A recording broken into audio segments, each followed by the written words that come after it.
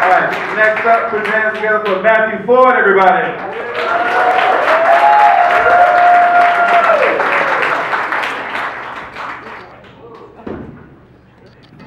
How you guys doing, all right?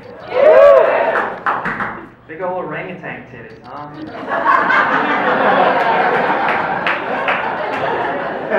she actually did my whole set, so. all right, so who here still has their AOL accounts? Anybody? Quiet, mom. I, uh, I still have mine, so you're in good company. Uh, I, uh, for those of you who don't know what AOL is, I'll explain it to you when you're younger. Uh, no, I did that joke one time, and uh, somebody actually yelled out to me, "Do you still have MySpace too?" I said, "Of course I do. I'm white. I'm always living in the past." I, uh, I love social media though. Um, social media is pretty awesome. I, uh, I, I think this generation kind of, I don't know, I think they take social media for granted. I like to think, what if past generations would have had social media, you know? Follow me here. Marilyn Monroe on Instagram, right? You can see that. Ted Bundy would have fucking killed it on Tinder, right?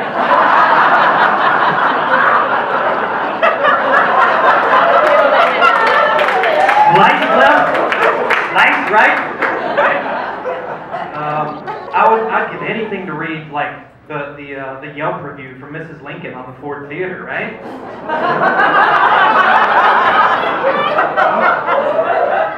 Zero stars. The service was shoddy.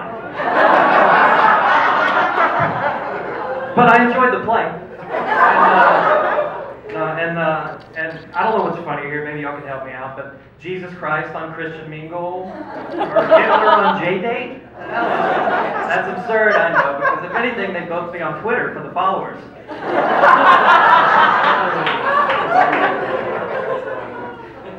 Uh, my, uh, I got a little follower of my own, a little six-year-old boy. He's the love of my life, but he will imitate anything he sees, anything. And here lately, he watches these Home Alone movies. Uh, which is good news, I guess. I got a, uh, I got a, I got a, uh, a fantastic home security system for me when I get home. The bad news is, every time I go upstairs, I take a paint can to the face. my medical bills are starting to pile up. It's not good. But um, yeah, I wish I wish they'd make a movie about vegetables. You know, follow me here because my son won't eat them. He won't. I've tried everything. You right? But the one thing he will eat actually is anything that falls on the floor. so I put two and two together and just put them up for adoption. I mean, that's to me, that seems like the most logical choice. No, guys, I would never do that. I would never do that. A trade-in, maybe. Store credit. Pretty sure I'm due for an upgrade. Um, no, but my son and I, we play a lot of games together. We play games. Uh, right now, his favorite game is called Daddy Come Wipe Me. Have you heard of this? figured some of you might have you've heard of this. It's, uh, it's a game that consists of me walking into the bathroom do- and the door fucking wide open. And he's in one of three positions, right? He's either stark naked with his ass up in the air, my personal favorite, or he's dancing around, you know, you gotta get him still. Or he's, he's painting that shit on the wall. like a little shitty Picasso. And I gotta go in there like an art critic, like, oh, I see what you've done there. That's great. Is that is that daddy? Oh, no, it's stepdaddy. Oh, okay. Right.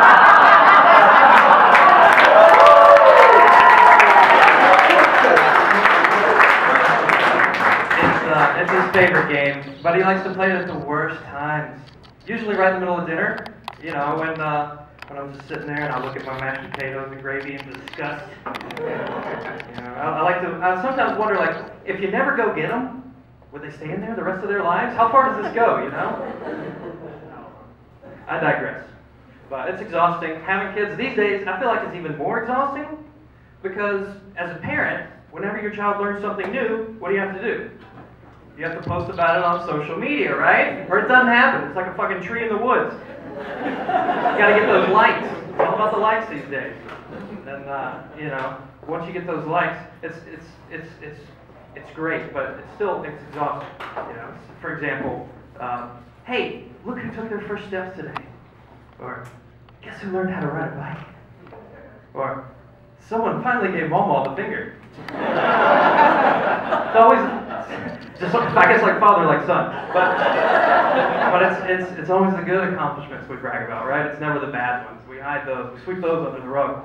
But I feel like more like my kid's uh, PR agent now than, uh, than his father. But he's, uh, uh, sure we all do.